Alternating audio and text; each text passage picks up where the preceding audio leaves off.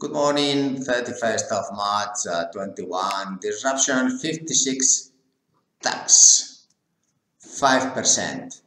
I believe probably the world needs one prime minister. I really put my CV towards it. Therefore, I have 250 countries. So I just have to manage this. And uh, if it is 250 countries, of course, we are having 249 being redundant with all the ministries and all this. So imagine how many buildings and we could have a saving.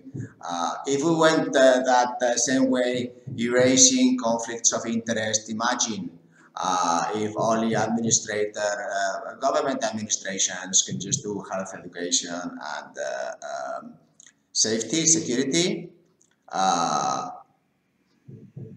Then we get into the uh, next area, which is uh, uh, conflicts of interest in associations, in businesses, in all this. So that's out.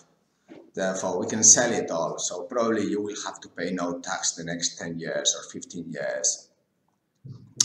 Then the next thing we can do simply is just to pass this video, like this video, subscribe to this channel, so you can really react and give the ideas uh, where we can make some savings so that all humans in the world can disrupt this planet and have only a 5% tax for these three key areas.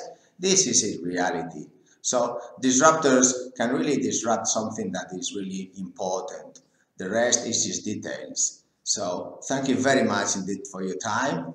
Take care. Bye.